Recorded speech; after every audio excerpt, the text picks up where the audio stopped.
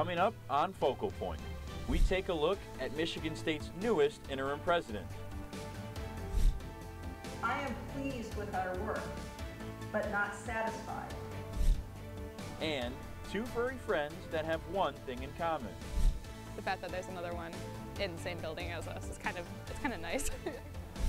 Plus, highlights from the latest Michigan State men's basketball victory.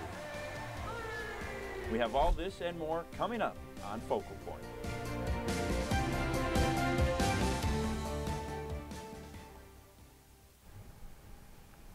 Hello, good morning, and welcome to Focal Point.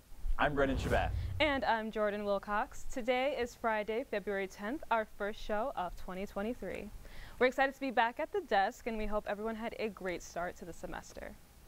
Black History Month can be celebrated in many different ways, and Focal Point's Chloe Porfirio shows us just how one woman chose to celebrate by using her voice.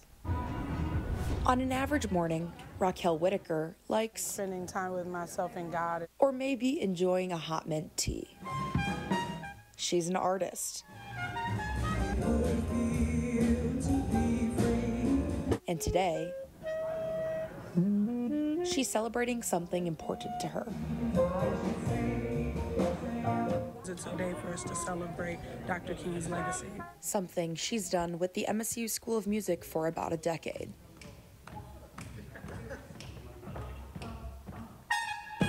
How, you ask? Through the tune of jazz. Jazz has always been uh, a music to speak for the people. Anthony Stanco is a music professor. He understands the importance of a day like this one. No matter if you're black or white, Or blue or green or orange. These musically talented folks say it's a safe place for everyone. Loud and proud, right? It's like if there's something, like I'd rather just be really intense. Don't worry, I won't be playing. The performers are on break. But in just a few hours, this sold out show comes to life. All right. Thank you. Enjoy. Some people come to see their favorite performer like, listening to Rodney Whitaker play the bass. or to celebrate. the spirit of inclusion. When I look out into the audience, it actually makes me really emotional to see many people coming to hear this music. The College of Music would like to extend a special thank you to sponsor But everyone knows when the sound comes up and the spotlight turns on, the celebration has just begun.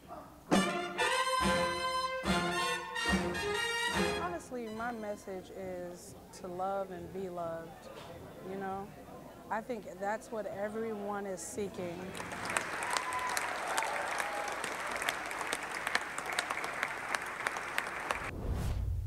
MSU continues to offer Black History Month events through the rest of February. So if you missed that one, there are plenty of others that you can celebrate. It's a new year and a new era for Michigan State with new leadership at the top. In January, interim president Teresa Woodruff gave her first State of the University speech at the Wharton Center. Dr. Woodruff spoke of financial ups and downs, diversity and inclusion, and the various successes of students and faculty. With the scandal that led to her hiring in recent memory, Woodruff stressed her view that the university was improving on Title IX and the reporting of sexual misconduct.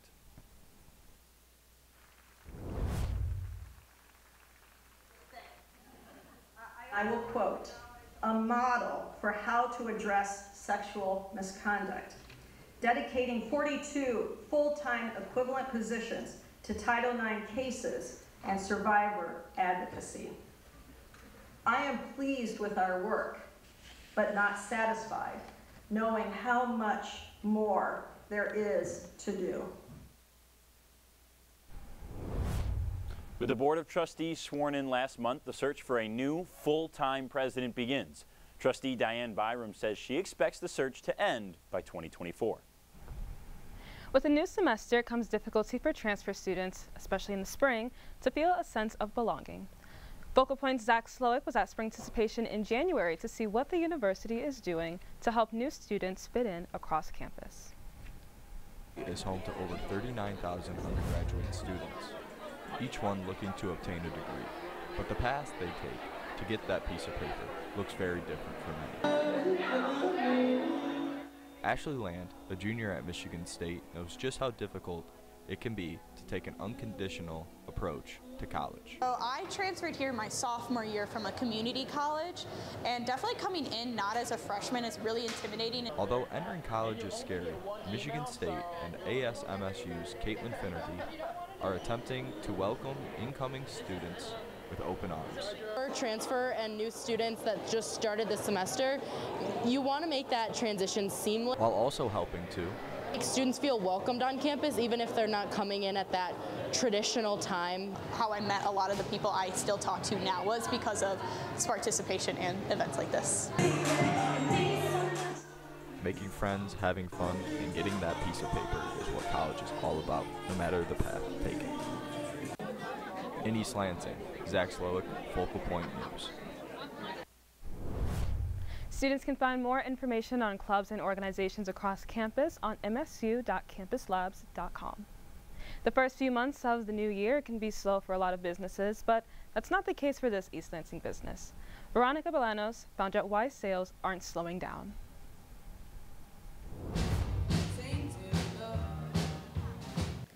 Deb and her husband Jim love singing and dancing to live music. I'm trying to get people to dance. Kids from the program School of Rock perform timeless songs on stage at the Junction. The venue opened its doors to the public nearly three months ago, and Nick Balasoni, one of three owners, says business isn't slowing down anytime soon. We're capturing from different crowds, so the one time a week they do go out, they come here. And it's events like the School of Rock that keep customers coming back here at the Junction. Part of the venue's success, attracting customers from all backgrounds. We have people who will come in at the door as soon as we open to grab a quick bite to eat, and we have people who are staying all the way until 2 in the morning. Food, drinks, and entertainment. We have one of the best chefs in Lansing. One of their main attractions, live events, and special deals. We bring in a huge variety of events throughout the week to try and draw from a really, really wide crowd. Every Wednesday we've got we it's our country night. Starts with free line dancing lessons, leads into at 10 o'clock starting with uh, $1.99 drink specials on Long Island's to reach the college crowd. The 12,000 square foot venue attracts grandparents, musicians, and everybody in between. In East Lansing, Veronica Bolanos, Focal Point News. Is open Wednesday through Sunday, and their live events are posted on their Facebook page. With a growing selection of places to shop, the Meridian Mall is now hosting its annual Farmers Market inside. Located between Macy's and H&M, you can buy fresh produce, raw honey, pickled goods, and much more as you shop. Prior to the COVID-19 pandemic, the market was usually outside during the summer and inside during winter. But for the past three years, they've been unable to host inside due to the pandemic. This year, they are back in action with more vendors than ever. Uh, we hadn't been in here for two to three years and weren't sure if people would follow us, but it's been a surprisingly strong response. Uh, a lot of our regular people have found us and are continuing to come, and then we've had a lot of new people. The farmers market will be inside the Meridian Mall every Saturday until the warmer months arrive. And speaking of food bringing the community together, Jordan, I don't know about you, but I'm getting pretty hungry. There's a new spot aiming to do just that, and it's taking place in a steel barn. Focal Point Sarah Loeffner joins us live to give a taste of the new Lansing Shuffle. Sarah, what can we find inside? Thanks, Brendan. We are live in downtown Lansing, and if you're not familiar with this place, it's behind the convention center and across from the Lugnut Stadium. And this is it, a new food hall. Are you hungry? Here's a look inside. So I know that three handfuls is about six ounces.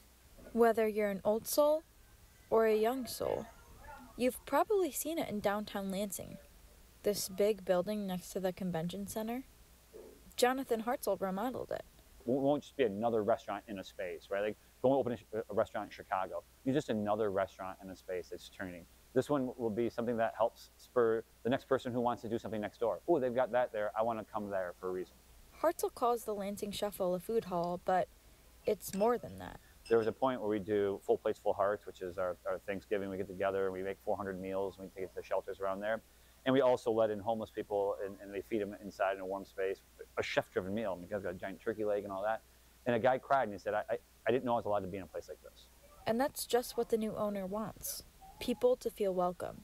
So far, there are four restaurants open inside, and the chefs like it. You know, it's been a uh, long time coming, and so uh, you know, just over the phone, having conference calls and all that stuff has been great. But now to be able to get in your kitchen and, and really cook and fire up uh, has been amazing. Chef Gianmarco Roselli credits his skills to his grandmother. My grandma always served us vegan. She just didn't know it was vegan. And then I guess I'm her successor where I like to define it as vegan. It's all about community for Hartzell, and he's excited about the Shuffle's future. Think for everyone here. Whether you like burgers, barbecue, Himalayan, Thai, or even vegan eats, they've got you covered. They even have ice cream. In fact, I'm going to grab some right now. And if you're nice, I'll bring some back for you guys. For now, we're live in Lansing. I'm Sarah Lochner, Focal Point News. Well, Sarah, we really appreciate it. Hopefully, we've been good enough to get some of that ice cream. That food looked really good. MSU and the American Red Cross held a blood drive on campus earlier this week for Spartans to have a chance to give back to those in need. The drive was held at the Federal Credit Union Club on the fourth level of Spartan Stadium. Donors received t-shirts as well as refreshments following their donation. The blood drive was a part of a blood battle between other Big Ten schools. And for some donors, their reason for donating with the Red Cross goes beyond competition.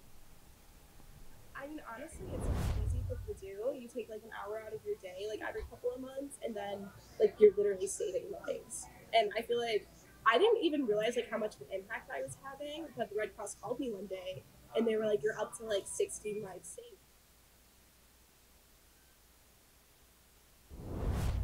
Well, everybody loves a friendly competition, especially if it's for a good cause. When we come back, we'll look at this week's forecast to see if we'll get any sunshine over the weekend. We have all this and more coming right up.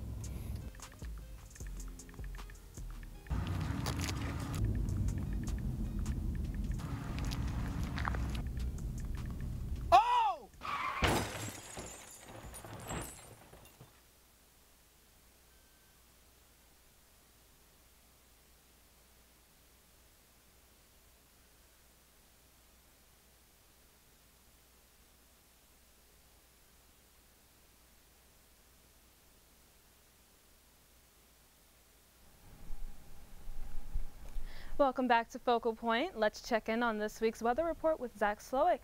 Zach, I know mid-Michigan's been on the colder side to start February, but is there any chance that we'll get some sunshine for Valentine's Day?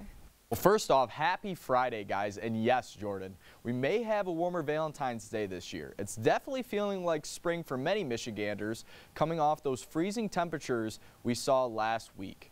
Now let's kick off our weather by looking at the national map. Over on the west coast, we are seeing some high temperatures in Los Angeles of 78 possibly, but it's currently sitting at 53. Phoenix not too far behind, sitting at a perfect, beautiful sunny and 75. But as of right now, it's at 54 as you can see here. And Houston experiencing some cooler temperatures right around 50 degrees with some pretty heavy winds. And on over on the east coast, New York is feeling good with a high of 57 and sunshine. Atlanta down south is experiencing some colder temps of 57 as well, and Miami is looking beautiful, 78 degrees, sunny. I might just have to go down there and get some sun myself because what a weathered forecast that is down in South Beach. Taking a closer look at the greater Lansing region, we still got some winter chills coming, but nothing like the freezing temperatures that we were seeing before. Uh, Chicago is sitting at 39 degrees, Wisconsin feeling the same at 36, and Cleveland is leading the pack at 40 degrees. Currently in East Lansing, we're sitting at 47 degrees. Grand Rapids might feel a little cooler in temperatures throughout the day, but sitting at 46 right now. Detroit is right along the same as East Lansing at 47, and Mount Pleasant is the cold of Michigan at 42. Now let's take a closer look at the weekly forecast. Um, we're going to have a sunny weekend, which is great. A lot of stuff going on all around the country. Um, there might be some Sunday tailgating. Um, and some opportunities to go outside during the Super Bowl and MSU men's basketball game coming up on this Sunday. And hopefully everybody takes advantage of those warmer temperatures. Um, that's all for this week's weather report, Jordan, Brendan. Hope you guys have a fantastic Valentine's Day week. Back to you guys. Thank you, Zach. And coming up after the break, will Tom Izzo and the Spartans build on their latest win? And we have a story about an unexpected friendship. We'll be right back.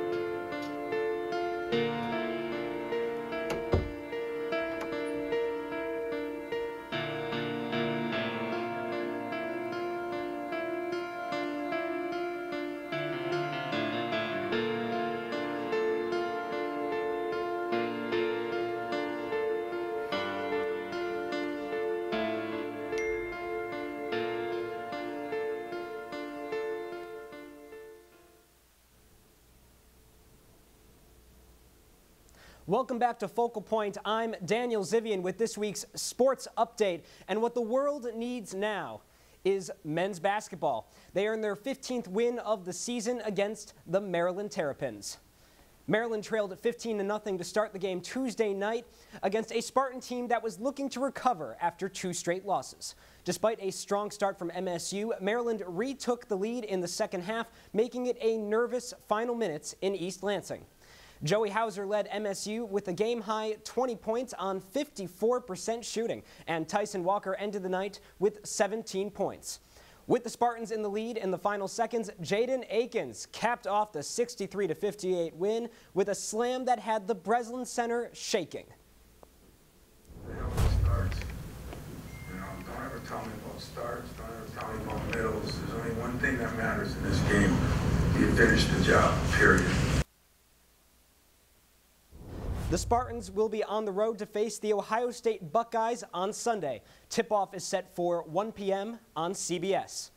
Over to the ice. The Michigan State hockey team prepares for its rivalry weekend series against Michigan, starting tonight at Munn Ice Arena. Head coach Adam Nightingale expects another strong performance from the Spartans after sweeping Notre Dame last weekend. I think our guys have been hungry all year. You know, I think that's we came into the year trying to earn some respect in college hockey and, and starting to get that, and we still have ways to go. But um, you know, obviously you, the fact that we get to play our rival, um, and then we're with everything in the standings for sure. That I think everyone's excited about it.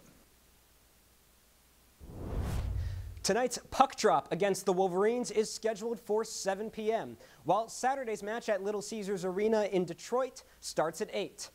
That's it for this week's sports headlines. Brendan Jordan, back to you in the studio. Thanks for the updates, Daniel. Over to our final story of the day. Everyone loves dogs. It doesn't matter the size or shape. We can all agree that they make life a little better.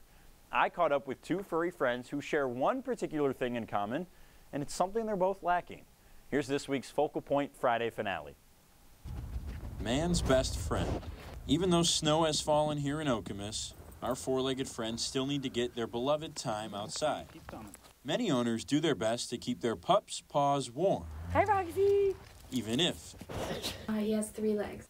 This is Tukey. At the ripe age of just one and a half years, Tukey wasn't born with three legs, Uh, he was hit by a car. but he's a fast learner. Hi, Happy to be here. It's not every day that you see a vibrant young puppy like Tukey adjusting to his new reality. But at heart, he's the same as any other puppy. I, we call him a shark. He's a puppy. That's he's. Hi, crazy man. He is really funny in the snow with the porch and leaves. If there's leaves on our porch, he has to eat them. Tuki isn't the only one who likes to try and digest Mother Nature. Meet Hobbs. He shares similarities with Tuki that go beyond chomping on the outdoors. In the beginning of December of 2021, he got this really bad infection on his wrist. Went and got him a full CAT scan and saw that three of his four or five toes were getting destroyed. Once he got it off, he acts like he's like three or four years old again. He is absolutely obsessed with the ball. He loves snow, and he's just a little bit crazy. Tukey and Hobbs. the fact that there's another one in the same building as us It's kind of it's kind of nice. he probably feels doesn't feel less alone, but I do, so it counts. One building, two dogs, six legs, Sit. and still just two happy pups. He's perfect. In Okemos, for Focal Point News, I'm Brendan Shabath. Those two were an absolute blast to hang out with. We did want to let our viewers at home know that Caitlin Wilcher, Tukey's owner, is still looking for a permanent home for him. And if you are interested in helping out, you can email me at the address you see on your screen, and I will help connect you with Caitlin, and I will be your dog broker, so to speak. But that's all for this week's edition of Focal Point. For all of us here in the studio, I'm Brendan Shabath. And I'm Jordan Wilcox. Be sure to join us next Friday for more. Until then, have a great weekend.